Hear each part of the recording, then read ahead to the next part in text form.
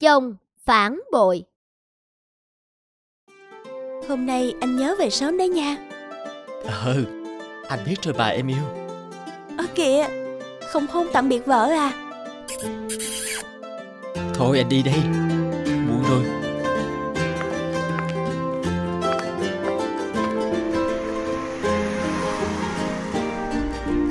Em đến công ty chưa?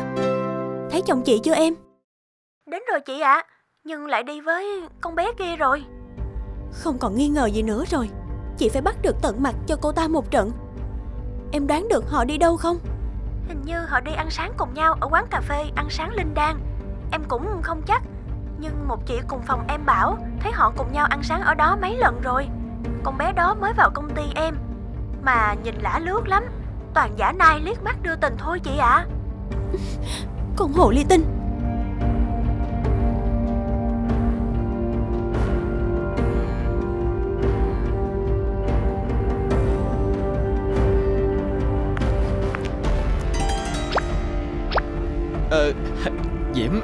Em đến khi nào vậy? Thực ra Con hồ ly tinh. Đồ hồ ly tinh Đồ giật chồng Đồ trơ trẽn. Diễm Em bình tĩnh lại đi.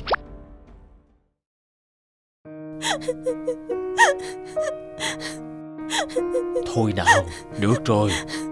Cậu Cậu phải đuổi việc cô ta ngay.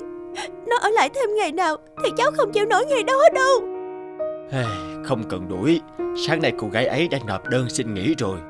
Cháu đánh ghen người ta Giữa đông người Lại còn rùm beng kể tội cô ta trên công ty thế. Người ta còn mặt mũi đâu nữa mà ở lại. Cậu Cậu còn bên cô ta nữa. Cô ta đã mê hoặc chồng cháu. Cô ta dùng sự xinh đẹp trẻ trung của mình Để mồi chài chồng cháu Phá hoại hạnh phúc gia đình cháu. Cậu có biết Cháu của cậu đau khổ thế nào không? Cậu hiểu Nhưng xảy ra việc này Theo cậu phần lớn vẫn là do ở chồng cháu. Tất cả là do cô ta cậu không biết à? Chồng cháu trước giờ vẫn một lòng yêu thương cháu. Chỉ từ khi con hồ ly tinh ấy xuất hiện Anh ấy mới lạc lối như thế. Ai, Cậu chẳng biết nói sao bây giờ với cháu nữa. Cậu Cậu phải giúp cháu điều này. Hả? Điều gì? Cháu muốn vào công ty làm Cùng phòng với chồng cháu. Hả? Cháu muốn vào công ty làm sao?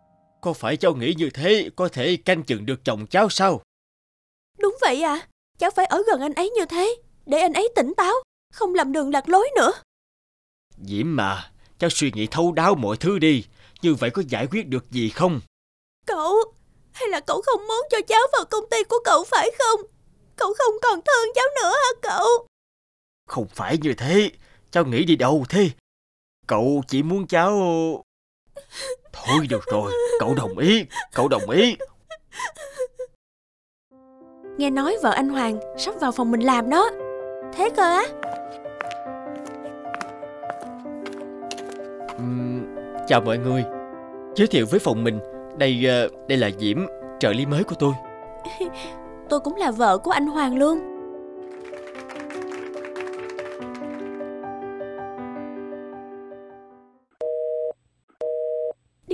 mà không nghe máy chứ. Giờ này rồi mà chưa thấy quay lại công ty đón mình nữa. Alo? Hả? Cái gì cơ? Em em, em có nhìn nhầm không? Chị đến ngay địa chỉ 42 Trần Sào đi, họ vừa vào đó chị.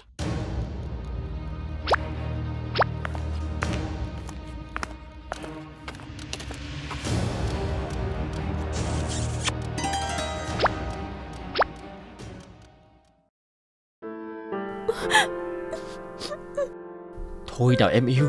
Em nghe anh giải thích đi được không? Anh biết anh sai. Anh sai vì đồng ý nhận lời hẹn của chị ta. Chị ta lấy cớ đi bàn về mấy cái điểm chưa rõ trong hợp đồng. Thật sự không biết chị ta lại táo bạo đến thế. Lúc đó anh anh hoàn toàn bị động. Anh Chính mắt thấy anh còn hôn lại chị ta. Anh nói em phải lừa gạt con mắt em như thế nào đây? Anh thừa nhận. Anh anh có một chút Một chút sao động nhưng đó chỉ là cảm giác nhất thời. Anh thề, uh, còn em bao giờ cũng là vị trí quan trọng số một trong anh. Xin hãy tin anh đi mà, em yêu. Anh thề sẽ cắt đứt mọi liên lạc với bà ta. Anh hứa, từ nay anh sẽ không vậy nữa. Thôi mà, đừng giận anh nữa. Chẳng còn tin anh được nữa, bỏ ra. Chị ta vốn là đối tác của công ty mình sao? Tại sao cậu lại ký hợp đồng với công ty của loại đàn bà đó chứ? Cậu hãy hủy hết hợp đồng với chị ta ngay đi Chuyện nào ra chuyện nấy chứ cháu. Chuyện làm ăn đâu có thể hành xử như con nít vậy được. Cậu Người đàn bà đã phá hoại hạnh phúc gia đình của cháu gái cậu. Cái hợp đồng đó quan trọng hơn cả cháu gái của cậu sao? Cậu có biết trái tim cháu tan nát tơi bời Chỉ vì người đàn bà đó? Diễm à Cậu biết cháu đang rất đau khổ. Nhưng cháu đau khổ vì cháu vẫn chưa tỉnh ngộ. Thực ra chuyện này ai cũng nhìn ra rồi Nhưng chỉ có cháu vẫn chưa tỉnh thôi của cậu là cháu đang mù quáng. Nếu một người dễ thay lòng đổi dạ Người mà bản tính trăng hoa, Thì dù cháu có ở bên 24 trên 24 Họ cũng có thể ngoại tình được. Cháu thử nhìn lại xem, Sự việc cô Hà cùng phòng cháu ngày trước. Cháu đã cho rằng cô ta dùng sự trẻ đẹp của mình để ve vãn, Mê hoặc chồng cháu. Còn lần này thì sao? Theo như cậu thấy, Người phụ nữ ấy còn hơn chồng cháu cả chục tuổi. Còn nói về trẻ đẹp thì không bao giờ sánh được với cháu rồi. Mỗi người đàn ông lòng không chung thủy Thì không lúc này thì lúc khác. Họ cũng ngã vào vòng tay của người khác thôi. Nếu không có người phụ nữ kia Thì cũng là một người khác mà thôi. Người như thế có đáng để cháu nếu giữ và chung sống một đời không? Hay chỉ khiến mình nhận lại sự dày vò, đau khổ và mệt mỏi? Cháu à, hãy dũng cảm buông bỏ những thứ đã không còn phù hợp với mình. Thay vì để nó hết lần này đến lần khác làm đau cháu Cháu còn nhớ chiếc vòng mã não ngày xưa cháu đeo không? Cháu còn nhớ kỷ niệm với chiếc vòng ấy không? Đó là chiếc vòng yêu thích nhất của cháu, Mà cậu mang từ nước ngoài về cho cháu. Nhưng khi cháu lớn dần, Nó trở nên bị chật quá. Lúc tháo ra, Cháu bị mảnh vỡ của vòng đâm vào tay. Giờ vẫn còn vết sẹo ở tay. Mà sao cậu lại nhắc tới cái vòng vậy cậu? Cháu gái à, một cuộc hôn nhân không khiến ta cảm thấy bình yên và hạnh phúc. Cũng giống như việc đeo chiếc vòng không còn vừa với cháu. Nếu cháu không mạnh dạn tháo nó ra sớm Thì sự chật chội của nó sẽ càng ngày gây ra vết thương cho cháu nhiều hơn mà thôi.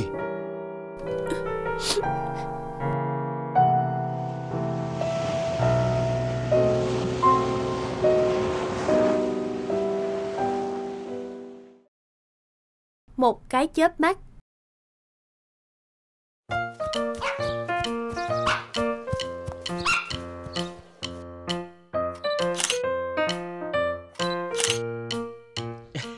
Tấm này được đây. Nè mấy giờ cậu mới đến thế? Đợi một lát tôi đang đến đây. Ở đây nè. Chà chà Cuối cùng cũng chịu nghe lời tụi này. Thay cái máy cũ kia đi. Cái này phải gần trăm triệu chứ ít à. Ê, Đã đam mê thì tiếc gì tiền chứ. Cứ dùng cái máy tậm tạch kia Thì đời nào mới khá lên được. Ừ, Ba ơi Ba cho con phải ít tiền được không ba? Vài hôm nữa khách trả tiền chụp rồi ờ, con trả lại ba. Con lại sắm đồ chụp ảnh nữa hả? Ừ, Chẳng là cái máy hiện tại con đang dùng không tốt ba ạ. À? Con đổ bao nhiêu tiền vào mấy tấm ảnh cả chục năm rồi Mà đã có thành quả gì đâu? Sao không tìm một việc mà con làm được ấy? Con sửa máy móc rất khá mà. Ba thật là Ba phải hiểu là thành công không bao giờ đến dễ dàng cả. Phải bỏ ra rất nhiều thời gian Và đầu tư nhiều công sức mới được ạ. À? à, Bà biết Nhưng cái gì cũng phải có điểm dừng Thôi được rồi Bà sẽ cho con một cơ hội nữa Để xem mình có phù hợp với nghề nhiếp ảnh không. Nhưng đốt lần này thôi đấy. Có máy ảnh mới rồi. Cậu phải tham gia cuộc thi của Hiệp hội nhiếp ảnh quốc tế sắp tới chứ hả? Giải thưởng lớn lắm đấy. Có chứ Nhưng à, tớ chưa nghĩ ra đề tài gì. Đề tài chỉ là một chuyện Ảnh muốn chất lượng Thì việc xử lý sau khi chụp cũng quan trọng lắm. Giá mà có cả cái studio thì tốt. Nè các cậu có biết tài họa không? Chụp ảnh cũng không phải dạng xuất sắc. Nhưng mà nhờ mở cái studio Bà đạt mấy giải thưởng lớn rồi đấy. Ừ vậy á Ai như cậu tiềm năng hơn Đức Tai Hòa Mà đến giờ vẫn chưa được ai biết đến. Đó là vì chưa có sự đầu tư. Bây giờ máy xịn có rồi. Sao không nhân đà này làm ảnh một lần đi? Còn lâu tới mới chịu thua Tai Hòa ấy. Để tôi tính. Ừ ba mẹ.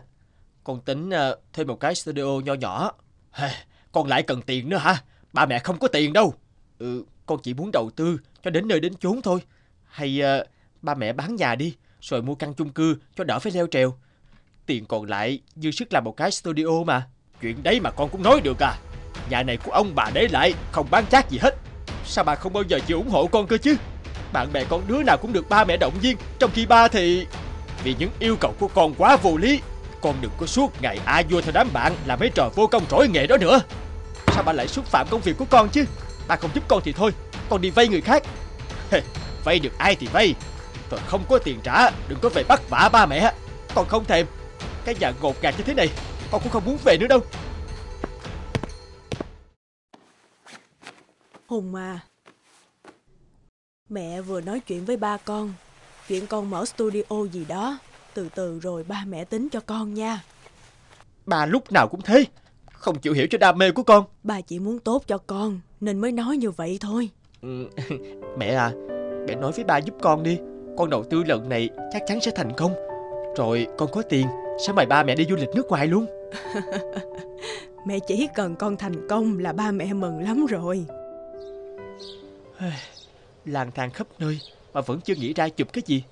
Hạn nộp bài dự thi sắp đến rồi. Tôi mỏi chân quá rồi. Ngồi nghỉ một lát đã ông ơi. Ừ, phải đấy.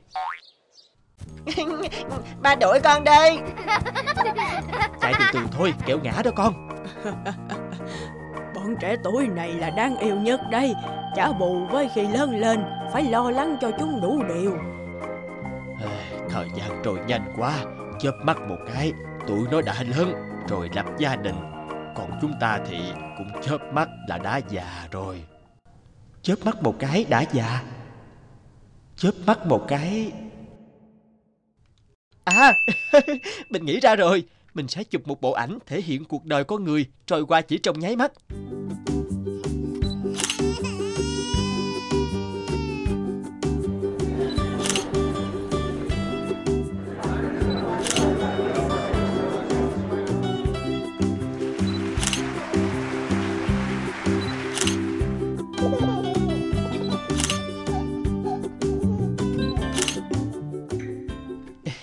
Bộ ảnh khá ổn rồi. Nhưng uh, sao mình vẫn thấy thiếu thiếu cái gì đó? Tiền điện nước tháng này lại tăng rồi ông ạ. À. Lấy lương hưu trả thì tiền sinh hoạt chẳng còn bao nhiêu. À, Mọi khi còn có tiền tiết kiệm hàng tháng Nhưng vừa rồi phải rút ra đưa cho thằng Hùng mua cái máy ảnh Nên mới vậy. Chuyện nói muốn mở cái stu gì đó Tôi suy nghĩ lắm bà.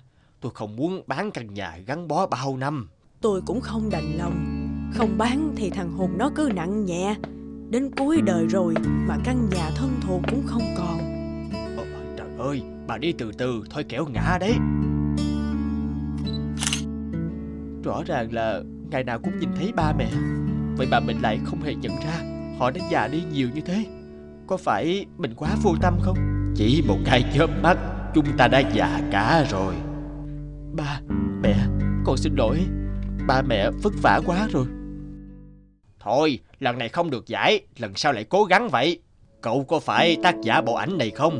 Ừ, vâng, chính là tôi. Ờ, tôi là nhà sưu tầm ảnh. Tôi rất hứng thú với tấm ảnh này. Nó là nét trầm của cả bộ ảnh. Nó như nói lên sự hy sinh cả đời của cha mẹ cho con cháu. Nhưng đến cuối cùng, họ vẫn phải tự lo cho mình trong nộp. Tôi muốn mua lại bộ ảnh này. Ý cậu thế nào? Uhm, Cảm ơn ông đã đánh giá cao bộ ảnh này, Nhưng tôi sẽ không bán đâu. Hả? Vì sao chứ? Tên của bộ ảnh là một cái chớp mắt. Tôi sẽ lưu giữ nó để nhắc nhở bản thân mình. Tôi không muốn sau một cái chớp mắt nữa. Tôi sẽ ân hận suốt đời Vì chưa kịp làm gì cho bố mẹ của mình.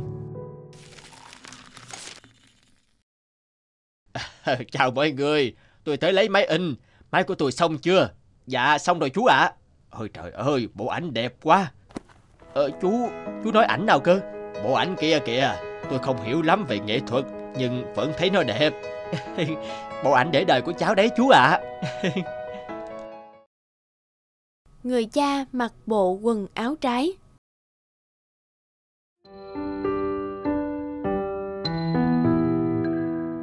Vậy là đã được hơn 15 năm Kể từ ngày mình bỏ hai cha con tôi ra đi Từ đó đến nay tôi cố gắng ở vậy một mình gà trống nuôi con. Nhớ lại chuỗi ngày đó Cũng cực khổ lắm mình à.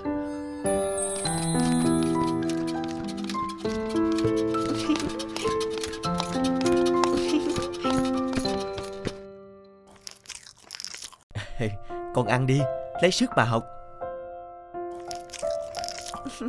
Sau này con lớn Nhất định con sẽ thành đạt và kiếm thật nhiều tiền để ba đỡ khổ ba nha. Thằng quỷ này. Ừ, ba nghe nè con. ba à, đợt này con có mặt trong danh sách khen thưởng những sinh viên có thành tích học tập xuất sắc nhất trong trường đại học đó ba. Ôi trời ơi, ba rất tự hào vì con. Bao giờ trường tổ chức khen thưởng, ba lên tham dự được không? Ừ, dạ, ở trên này con tự lo được mà. Ba ở nhà nhớ giữ gìn sức khỏe nha ba. Ừ, ba biết rồi, không phải lo cho ba. Ôi, trời ơi, tội nghiệp thằng bé. Từ trước đến nay tôi bận tối tăm mặt mũi, chẳng thể đi dự buổi họp nào ở trường của con hết. Chắc thằng bé thương tôi đường xa xa xôi, không lên được đây mà.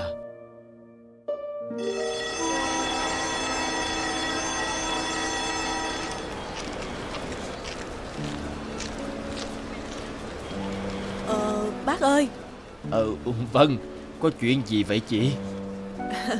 Chắc à, bác vội quá nên mặc quần áo trái rồi kìa.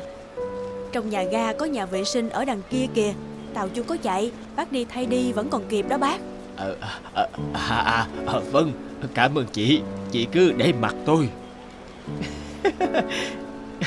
Chẳng lẽ mốt năm nay là áo trái lại thịnh hành?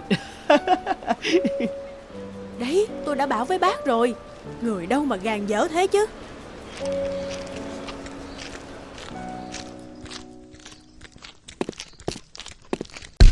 Ôi, ôi trời ơi. Ừ xin lỗi bác. Ồ, Vâng không sao. Là lỗi của tôi mà. Ừ bác à Vừa nãy cháu pha phải bác. Bác có sao không ạ? À? Ừ à, tôi không sao. Mai của anh nhặt giúp tôi số hoa quả này Không thì hỏng hết. Ừ bác à Bác lên thành phố thăm họ hàng phải không ạ? à? Vâng Tôi lên dự lễ trao thưởng ở trường đại học thằng bé nhà tôi. Hôm nay nó được đón danh hiệu sinh viên xuất sắc toàn diện đấy. Nhưng bác ơi, Dự buổi lễ trang trọng đó, Có lẽ bác không để ý. Bộ quần áo của bác ừ. Nhưng cậu cứ mặc tôi. Đó là tôi cố ý đó. Ừ Cố ý mặc quần áo trái ư? Chẳng dâu gì cháu. Ở nhà Bác có mỗi bộ quần áo này là tử tế. Bác mặc quần áo trái trên đường đi. Khi nào tới gặp con Thì mới lộn ra mặc lại. Như thế trang phục sẽ luôn được sạch sẽ tinh tươm. Bác lên thăm nó. Không thể để cho em nó khó chịu Xấu hổ được.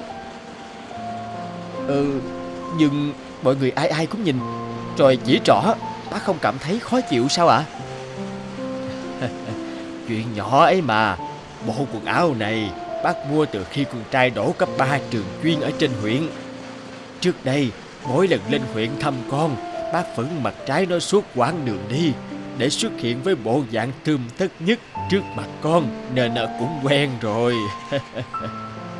bác à, thì ra câu chuyện ẩn đằng sau bộ quần áo trái lại xúc động đến vậy. Ừ, thôi chào cháu, bác đi đây. vâng, chào bác. Là điểm xe buýt này gần trường của con rồi. Mình phải tìm quanh đây xem có nhà vệ sinh công cộng nào Để thay bộ quần áo này thôi.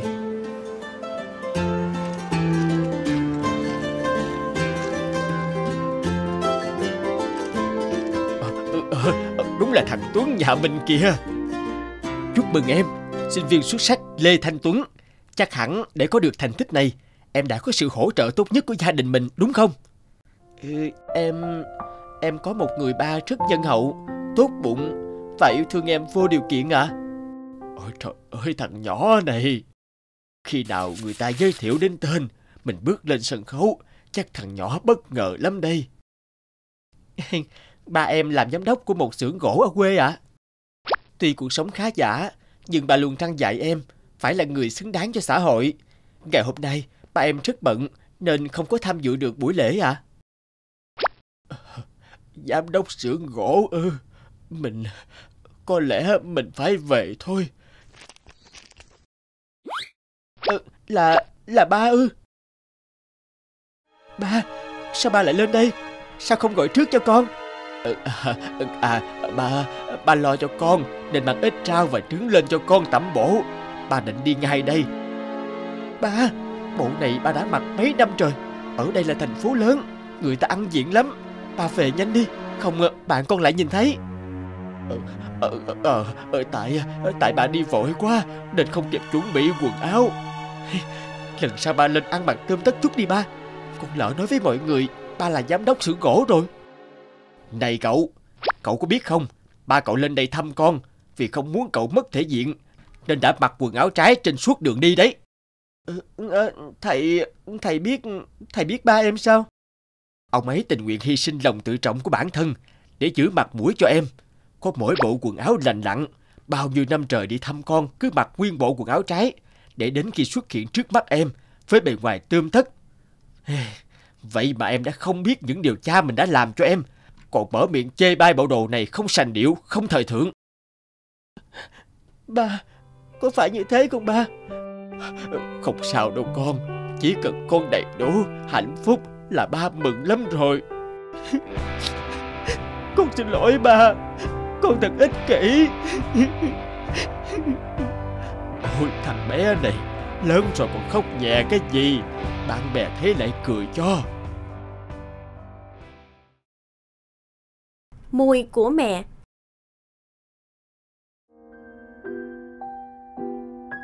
Hôm nay đón mẹ từ viện về, Em không biết phải chăm mẹ như thế nào nữa. Thì em cứ chăm mẹ như trước thôi. Như trước thì làm sao được? Trước đây mẹ đi lại bình thường Giờ mẹ bị liệt nửa người phải ngồi xe lăn cơ mà. Nếu em thấy vất vả quá Thì mình thuê người giúp việc chăm mẹ cũng được.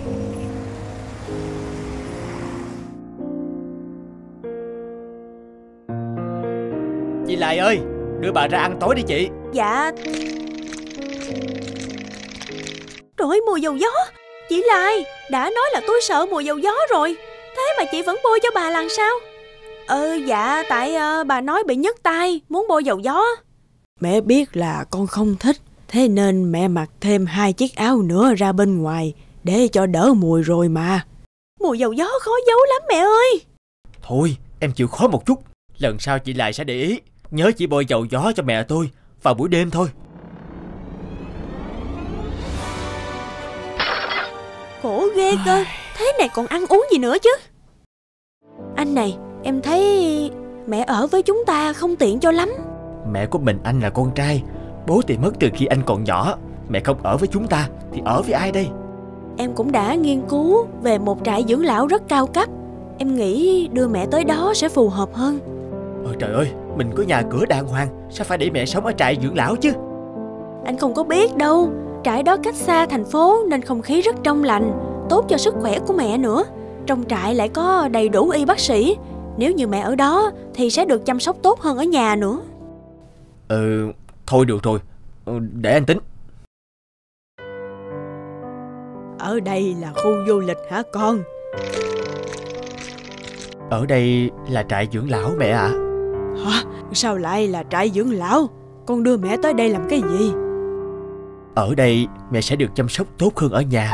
Ở nhà vợ con cũng bận việc Con thì đi tối ngày à. Nhưng chả phải ở đây Chỉ dành cho những người già neo đơn Không nơi nương tựa hay sao con? Mẹ còn có con có cái mà. Không phải thế đâu mẹ.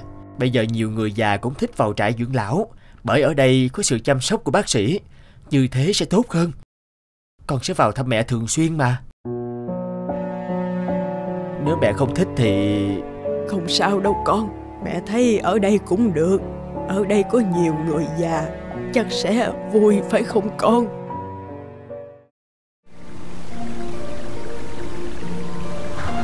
Chị lại quên không đóng cửa Mưa to ướt hết cả vào trong nhà rồi. Đã bảo chị lại vứt hết mấy lọ dầu gió đi Thế mà.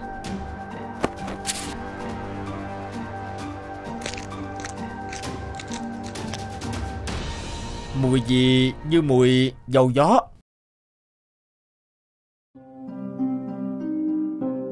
Mẹ phải ra thành phố kiếm tiền nuôi Toản chứ. Mẹ tin con trai của mẹ sẽ có thể tự lập được. Bác Hiền sẽ thường xuyên qua đây với con. Con sợ lắm. Ngoan, cả hai mẹ con mình cùng cố gắng nha. Mẹ phải kiếm tiền để cho Toản được ăn được học đầy đủ chứ. Con chỉ nhớ mẹ lắm. Con đang cầm trên tay lọ dầu gió đó. Mẹ hay bị đau tay nên thường xuyên bôi dầu. Đây chính là mùi của mẹ. Mỗi khi nhớ mẹ Con chỉ cần ngửi mùi của lọ dầu gió thôi đúng không? Mẹ ơi Mẹ đừng đi.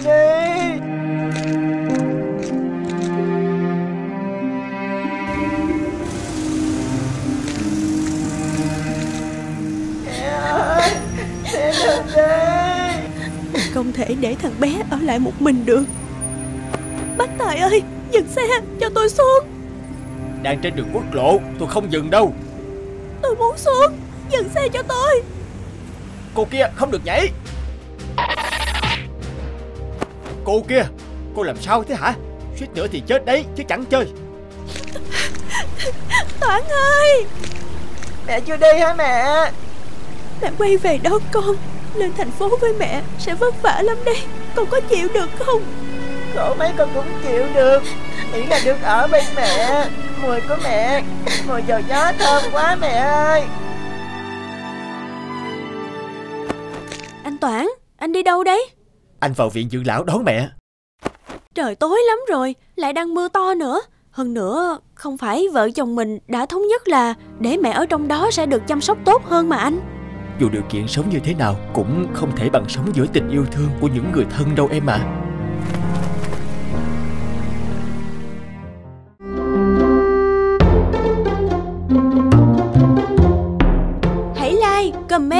subscribe kênh để xem thêm những video mới nhất nhé.